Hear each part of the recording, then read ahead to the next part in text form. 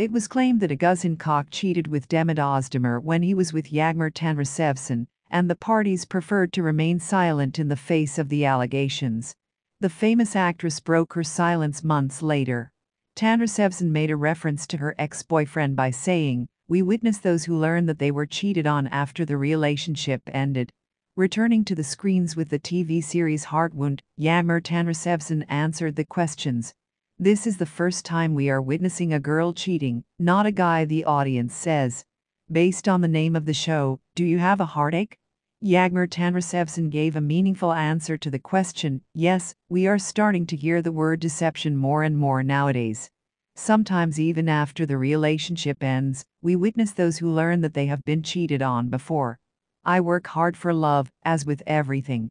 At the end of a relationship, if I conscientiously believe that I did everything in my power, no wounds will occur to me.